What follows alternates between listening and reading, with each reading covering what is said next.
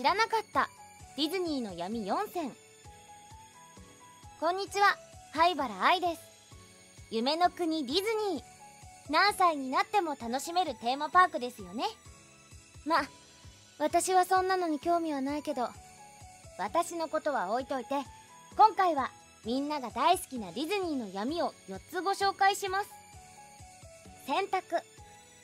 昔ディズニーワールドではコスチュームを着るキャストに対し会社から支給した下着を身につけるように指示していました。これは下着のラインが出てしまわないよう会社側が配慮で行っていたのですが1日履いた下着を返却し翌日には洗濯済みの下着を渡され働いていました。しかし臭い汚れている陰謀にシラミが湧いたなどの苦情が発生。調べてみると洗濯していなかったことが発覚。ありえます？会社側は洗濯せずに使い回しにしキャストは毎日の仕事で汗やら何やらが染み込んだパンツを洗濯済みと思い込み履き続けていたのです。しかもその下着は共用なので他人の履いたものを使用していた。信じられない事実が発覚しかなりのバッシングを浴びたディズニーは下着の支給をやめ自分の下着を着用することを認めたそうです。配慮するんだったら最後まできっちりやれって言ってやりたいですね。FBI 初代長官を務めていた FBI とウォルト・ディズニー氏は特別な関係があったそうです。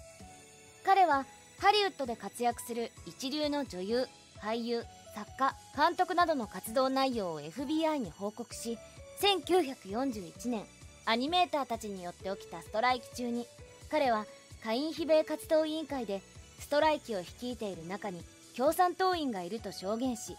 ディズニーの貢献度に感銘を受けた FBI 初代長官はディズニーに対しワシントンにある FBI 本部の中の撮影を許可したそう。それに対しディズニー側も映画の脚本やパークの設計情報を提供し中には初代長官の意見によって変更されたものもあるとか。これって本当？謎の粉。今から10年くらい前の2007年。パイレーツ・オブ・カリビアンに乗っていた女性が突然何かをまき散らしました。乗客が尋ねるとただのベビーパウダーよとの答えが返ってきましたが数人のお客さんはベビーパウダーでないと気づいていたそうです。それは1990年代ホーンデッドマンションに乗りながら亡くなった人の灰をまくというのが行われていたのを知っていたからだそう。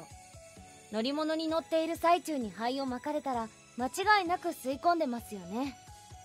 当時この行為が一般化してしまったためキャストに高性能な掃除機を使い手際よく対処する訓練を実施していたとか。知らない人の肺を吸って吸ったことないけど本当に気持ち悪い。迷惑行為になるので絶対にやめましょうね。閉鎖。アメリカ・フロリダ州にあるディズニーランド。そこには様々なテーマパークがありますが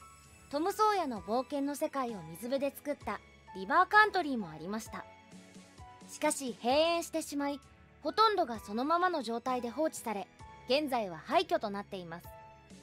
一般人の立ち入りは禁止となっていますがパークに不法侵入した輩が登場。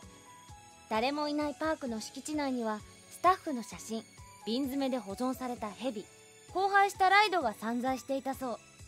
パークが閉園した理由は来場者が減り採算が合わなくなったためと公表していましたが実際は病原性を示すアメーバが見つかったからだそうです。フォーラーネグレリアという種類で感染すると人間の脳細胞を攻撃し致死率は95%リバーカントリーを取り囲む湖の中で発見され致死率を見れば閉鎖したのも当然ですね。いやー閉鎖してよかった。いかがでしたか？信じるか信じないかはあなた次第です。ご視聴ありがとうございました。ご登録よろしくお願いいたします。